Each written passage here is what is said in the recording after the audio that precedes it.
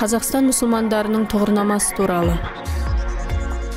Бисмиллахи рахмани рахим алла субханала тағала нәсіп етіп қазақстан мұсылмандар діни басқармасы осы үстіміздегі жылдың ақпан айының 19-ында үлкен республикалық имамдар форумын өткізді. Ол форумда маңызды төрт құжат қабылданды. Соның бірі қазақстан мұсылмандары тұғырнамасы.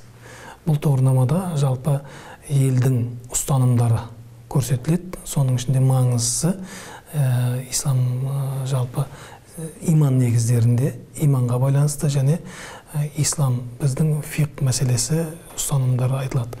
Енді иман негіздеріне келетін болсақ жалпы біздің халқымыз сол ертеден имам матуриди сенім ұстанған. Имам матуриди деген сенімде ол кісі үлкен еңбектер жазған кітаптар жазған осы сенім мәселесінде. Ол сенімде қазақ халқы жалпы алланы бар деп иман етті. Бірақ алланы бір орынға қойған жоқ. Мысалы үшін абай атамыздың өзі қара сөздерінде алла мекенсіз дейді. Біреулер алланы бір мекенге орнықтырып жатады. Аспанда дейді жаңа аршыда отыр деген сияқты сөздерді айтады. Ал біздің дана халқымыз алланы аспанда деп иман етпеген. Біздің халқымыз алла бар оны бір орынға бекітпейміз деді. Алланың барлығы бар өйткені орынды уақытты бүкіл мына сіз бен біздің көріп тұрған аспан жер жұлдыз айды алла тағала өзі жаратты. Алла ол жерде орнығуға мұқтаж емес.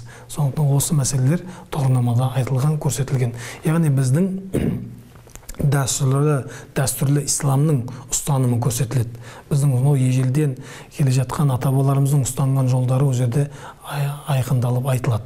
Иншалла қазіргі кездегі жастарымыз білместіктен әр жақтан келген ақпаратты алу арқылы адасып жатыр ғой. Сол жастарымыздың адаспауы үшін негізгі біздің ежелден ұстап келе жатқан дәстүрлі жолымыз ата бабамыздың ұсталған жолы айқындалып көрсетілген. Әрине біз де елімізді сол тұғырнаманы оқып сол тұғырнама бойынша бұрынғы біздің бабаларымыздың абай атамыздың мынау машһүр жүсіп бабаларымыз бар құнанбай қажы аталарымыз бар тағы да қожа ахмет яссауи бабаларымыз бар сығанақи бабаларымыз бар хибатулла ат таризи бабаларымыз бар. Осындай үлкен ғалым бабаларымыздың ұстанған жолын ұстау және солардың мөлдір жолдарын жас ұрпаққа жеткізу мақсатында үлкен тұғырнама мінекей қабылданды. Сол тұғырнамадан иншалла оқып соны жастарымыз ұстанса деген біз иншалла өсиет айтар едік. Жалпы адам баласы жүрек адамның жүрегі алланың бар екенін сезеді біледі. Енді әрбір жүрек алланы сезгеннен кейін сол алланы іздеу жолында көп күш қуат жұмсайды. Сенім өте көп. Жан жақтан келіп жатқан ақпарат та өте көп. Қазір ақпарат заманы. Кімге барсаң бәрі молда сияқты уағыз айтқысы келіп тұрады. Ақыл айтқысы келіп тұрады.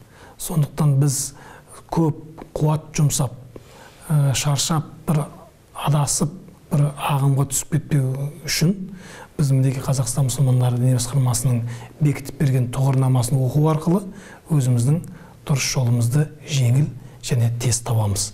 Сондықтан иншалла біз елімізге осы дайындалып берген жаңағыдай кітапты оқу арқылы иншалла дұрыс жолымызды ұстансақ нұр үстіне иншалла нұр болар еді.